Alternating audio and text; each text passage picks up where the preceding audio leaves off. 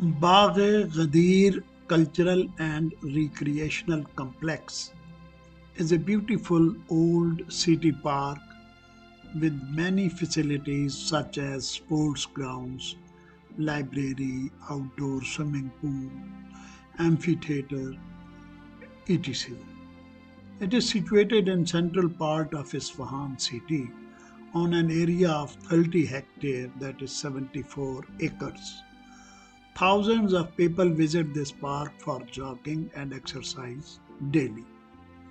It is named after famous Ghadir al Khum, well of Khum, located between Mecca and Medina in Saudi Arab, where Holy Prophet, peace be upon him, declared his cousin and son-in-law, Hazrat Ali, as his heir and successor according to Shia beliefs.